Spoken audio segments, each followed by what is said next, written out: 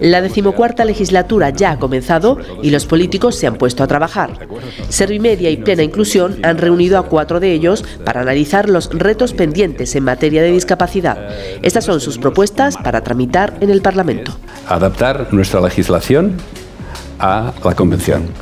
Y durante esta legislatura intentaremos llevarlo a cabo todo lo que todo lo que podamos y además seguir las recomendaciones y las observaciones. Y necesitamos que tengan un buen sistema de prestaciones, una mayor independencia, una mayor independencia, eh, una atención absolutamente garantizada conforme a sus propias necesidades y eso es un debate que creo que es muy importante que abordemos en esta legislatura. Imprescindible, yo diría. Yo creo que tenemos que ahondar en la figura de la asistencia personal, que, en, la ley de dependencia eh, bueno, pues no está muy desarrollada, es verdad que se contempla eh, una ley de dependencia muy, yo siempre digo lo mismo, es una gran ley, muy bien traída, muy bien desarrollada, pero en la que tenemos que profundizar para que también sirva a las personas con discapacidad. Hace un año todos los partidos consensuaron una pequeña reforma de la Constitución.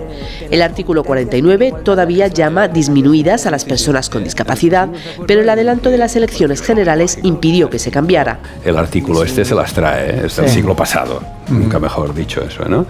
Y luego porque eh, tiene un trasfondo muy asistencialista, cuando lo que dice la Convención y lo que dice el sentido común eh, es que tiene que ser, eh, hay que reconocer los derechos que las personas del mundo de la discapacidad tienen. ¿no? Pues tendremos que hacer un esfuerzo, todas las fuerzas políticas, para, para actualizar y poner y poner en, el siglo XXI también la Constitución y la consolidación de, de, los derechos civiles y sociales de las personas con discapacidad. Que la modificación de este artículo nos parece absolutamente conveniente. ¿no? Pero en realidad también hemos venido aquí a defender que el primero de los derechos de las personas con discapacidad, que es el derecho a la vida, muchas veces lo estamos obviando. Cuando hablamos de reforma de cualquier artículo de la Constitución, tiene que hacerse como se hizo la Constitución del 78 y es con el consenso, y el consenso de todos, porque es lo suficientemente importante como para que no quede al arbitrio de, oye, ni la oportunidad política ni de las mayorías del momento, sino de la unanimidad, ¿no?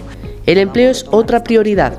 El colectivo reclama más ayudas y mejores condiciones para combatir las enormes cifras de paro en materia de discapacidad. En el caso de la discapacidad intelectual y del desarrollo, eh, la tasa de de desempleo es brutal, es, eh, casi el 93%.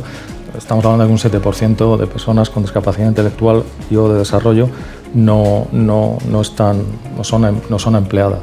Hay que abordar eh, un sistema de convenios con el tejido asociativo ¿no? que mueve todo el mundo de la discapacidad hay que colaborar con las distintas asociaciones y fundaciones que ya dentro de sus propias casas, dentro de sus propias instituciones, están teniendo planes fantásticos de inserción laboral. Y el ejemplo, por ejemplo, es esta casa, ¿no? de inclusión con un 40% de plantilla eh, de personas con discapacidad, que es un ejemplo absoluto de lo que debería ser eh, aquello que los poderes públicos tienen que fomentar. Eh, somos partidarios de elaborar una nueva ley de promoción de la inserción laboral de las personas con discapacidad, eh, que contemple eh, bueno, una fiscalidad más favorable eh, a la contratación de esas personas, pero que a la vez exista una mayor protección, es decir, una contratación socialmente, socialmente responsable. En educación, los partidos políticos tienen mayores discrepancias. PSOE y Ciudadanos apuestan claramente por la educación inclusiva. PP y Vox reivindican la utilidad de los centros especiales. Hace falta garantizar que toda aquella persona, toda aquella familia que quiera que su, que su hijo vaya a un colegio de educación especial se le pueda financiar, se le pueda garantizar. Y esto se puede hacer mediante la figura del cheque escolar. Es decir, garantizando que si una familia que no tiene recursos, si tiene un niño con síndrome de Down y quiere llevar a su hijo con síndrome de Down a un colegio de educación especializada, porque dentro del propio colegio le van a dar su fisioterapia, le van a dar su logopedia, le van a dar su psicología, le van a dar todo aquello que este niño necesita en un horario escolar, lo puede hacer. Financiación en edades tempranas, el 03, como medida de equidad y de atención y además de detección desde las edades más tempranas de aquellos alumnos precisamente que presentan esas capacidades eh, diferentes de apoyo a las familias y eso requiere efectivamente recursos, requiere especialización requiere información. No segregarlo, ya, sé que no, había utilizado la palabra, la utilizo, ¿eh? Eh, llevándolo a un centro donde solo hay los que son como él, porque no tendrá una visión de cómo es el mundo. Igual que los otros tampoco la tendrán, porque no conocerán, no jugarán al fútbol con nadie que tenga síndrome de Down. ¿eh? El mundo hoy es muy diverso y hay inmigrantes de todos los colores y tiene que haber también lo que es un reflejo de nuestra sociedad. En lo que sí hay unanimidad es en trabajar juntos por las personas con discapacidad.